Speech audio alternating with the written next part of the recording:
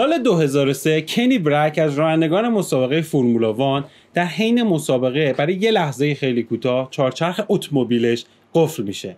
وقتی چهارچرخ ماشینش قفل میشه. کنی برک متاسفانه با دیوار پیش برخورد می‌کنه و برای یه لحظه خیلی کوتاه وزنش برابر 15 تون میشه.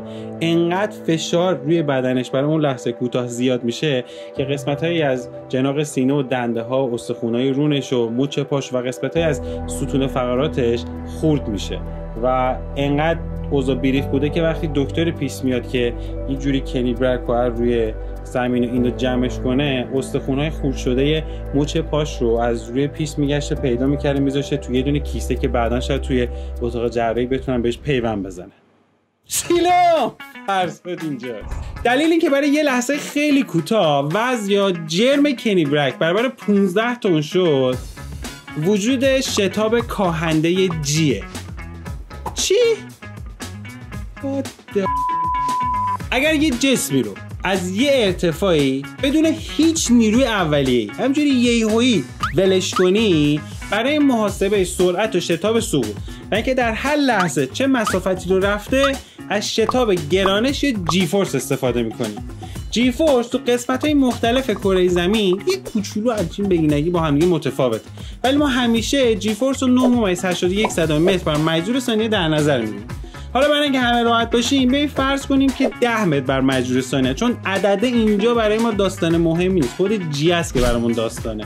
حالا این 10 متر بر مجذور ثانیه واقعا یعنی چی؟ چقدر اصلا زیاده کمه اینقدر تنده کنده چقدر واقعا چجوری میشه حسش کرد که ببینیم قویه واقعا یا نه؟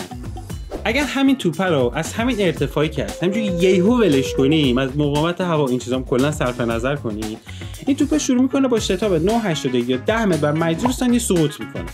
حالا این شتابه این وسط چیکار می‌کنه؟ شتابه باعث میشه که سرعت توپ در هر ثانیه 10 متر بر ثانیه زیاد بشه. یعنی بعد از گذشت یک ثانیه سرعت توپ میشه 10 متر بر ثانیه بعد از دو ثانیه سرعت توپ میشه 20 متر بر ثانیه و بعد از 10 ثانیه هم سرعت سقوط توپ می‌رسه به 100 متر بر ثانیه. به خاطر همینه که تو واحد شتاب ما متر بر مجذور ثانیه داریم. یعنی متر تقسیم بر ثانیه به توان دو. به خاطر اینکه این شتابه در هر ثانیه سرعت اون توپ رو اونقدر در ثانیه زیاد می‌کنه. اینجوری دو تا ثانیه خوردن تو هم دیگه. حالا اون ورکی داستانم این شکلی میشه که اگر یه توپی رو اینجوری بندازیم بالا مستقیم بره بالا یه کوچولو میره بالا بعد یه مدت یه لحظه یه وای میسته بعد دوباره اینجوری میاد می‌رسه به سطح زمین. به خاطر اینکه وقتی پرتش می‌کنیم بالا جی فورس سرعتش رو کم می‌کنه کم می‌کنه کم می‌کنه تا بشه به صفر. بعد جهت سرعتش رو عوض می‌کنه اینجوری میاد به سمت پایین. برابری برای اینکه یه جسمی از زمین بلند بشه بخواد بره به سمت بالا باید همیشه شروع حرکت شتابدار باشه. شتابدار مثبت. مثلا با شتاب دو متر بر مجذور ثانیه از زمین بلند بشه. حالا یه چیز جالب. وقتی حرکت یه جسمی شتاب داره وزنش هم بیشتر میشه. دقیقا مثل زمانی که میریم تو آسانسور می‌خوایم بریم طبقات بالاتر. لحظه که آسانسور شروع به حرکت می‌کنه یه لحظه احساس می‌کنیم اضافه وزن پیدا کردیم یه زور زیادی روی زانوهای پامون. حالا اگرم چیزی در اون لحظه دستون باشه که مثلا سنگین باشه خرید کرده باشیم چیزی باشه وقتی شروع می‌کنیم میریم اینجوری یه 200 کیلو میاد رو وزنم. حالا این سنگین تر شدن با افزایش شتاب هی بیشتر هم میشه. مثل زمانی که تو ماشین هستین یهو می‌خواد شروع به حرکت کنه. یا مثلا توی رولر کوستر یا همون ترن هوایی خودمون هستیم قشنگ میشه زمانی که شروع به حرکت می‌کنه یا یهو تغییر مسیر میدن اون اضافه وزنه رو احساسش کرد. حالا از اون ور شتاب کنچوندم همین داستان. یعنی اگر شما با یه ساعت خیلی زیادی در حال حرکت باشین بعد یهو توقف کنی باز اون اضافه وزن رو می‌تونی احساس کنی فقط شاید الان که دارم بهتون میگم تو ماشین این موضوع زیاد براتون قابل درک نباشه. به خاطر این فرض کنین زمانی که دنده عقب ماشین خیلی با سرعت حرکت کنه یهو بزنه رو ترمز. بچه فرو این تو صندلی؟ شتاب گرانش زمین. برای ما یک معیار هم حساب میشه. خیلی وقتا تو سند وقتی یه وصله می‌سازن که خیلی پر شتابه به جای که بگم مثلا شتابش 20 متر بر مجذور ثانیه است میگن شتابش برابر دو جیه یا مثلا 5 جیه. یعنی 5 برابر شتاب گرانش زمینه. برای که یه وسیله بتونه ما رو با شتاب بیشتر از جی حرکت بده باید چیز قدرتمند و خفن پفنی باشه. بزن یه مثال براتون می‌زنم مثلا بوگاتی شیرون یا کایرون که جز سوپرکاره خیلی خفن و تاپ سپید فلان داره و سرعتش توی دو نیم ثانیه از صفر به 100 کیلومتر بر ساعت می‌رسه شتابش فقط برابر یک و دو سه دهم جیه. یعنی یه چیز حدود 11 و 2 دهم متر بر مجذور ثانیه. یعنی در هر ثانیه سرعتش حدودا 11 خورده متر بر ثانیه زیاد میشه. جدا از اینکه رسیدن به شتاب دوست جیب بالا کار خیلی سختی و وسیله خیلی قدرتمندی می‌خواد اون شخصی که می‌خواد از اون وسیله استفاده کنه باید آمادگی جسمانی مناسبی داشته باشه. به خاطر همینه که مثلا های هواپیمای جنگی یا فضانورد خیلی وقتا از لباسای استفاده می‌کنن که بهشون میگن جیسود به خاطر اینکه توی شتابای خیلی بالا خون تو بدن ما نمی‌تونه به مغز برسه. برای تو قسمت های پایین بدن جمع میشه. و اگر که مثلا شاید تو کمتر یکی دو دقیقه خون به مغز ما کم برسه شاید بیهوش بشیم یا شاید تو یه سری از مواقع باعث مرگ مغزی هم بشه. حالا جیسود لباسایی هستن که تو قسمت های پایینش مثلا از کمر به پایین حالت بادکنکیه. وقتی که شتاب خیلی زیاد میشه اینا باد میشن. از رو فشار میدن که سعی کنن خون رو پمپ کنن بیاد برسه به مغز. تا جایی که من متوجه شدم دو نفر که بیشترین رکورد تحمل G رو دارن ایلای بیدینگ و کنی برک هستن.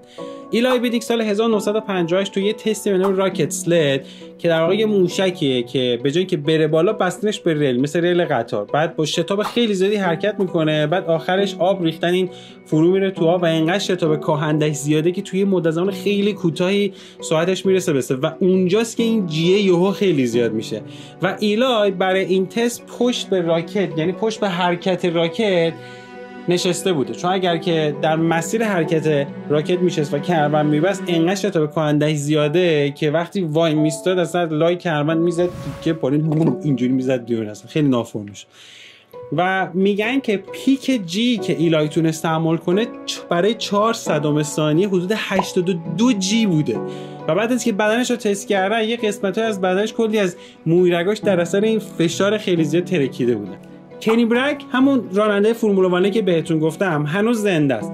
ولی سال 2003 موقعی که اون حادثه پیش میاد چون با ساعت خیلی زیاد یهو برخورد می‌کنه به دیوار و توی یه تایم خیلی خیلی کوتاهی. سرعت ماشش مثلا 200 چند کیلومتر بر ساعت میشه صفر. شتاب کاهندش برابر 214 جی بوده.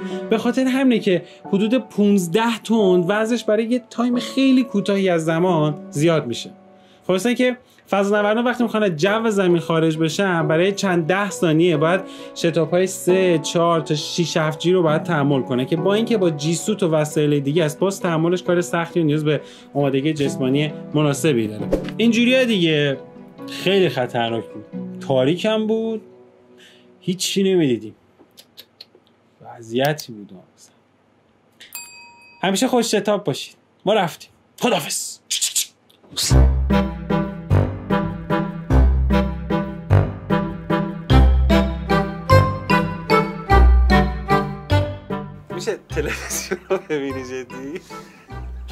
این معلم یه دقیقه نمایی که با پیرن و اینک لاگو داره همچون من جدی. اصلا پشت هم باشه من جدی خیلی راحته چون من کلا خیلی چیزم. من مشکل نه حالا بشین بعد تلویزیون اینجوری اجازه بود. یهو ولش کنیم از مقاومت هوا این چیزا. بابا به تلویزیون نگاه کن. قبلا اونجا بود. الان بدتر شد. اینجوری الان. بابا یه فیلم بگیریم ازش.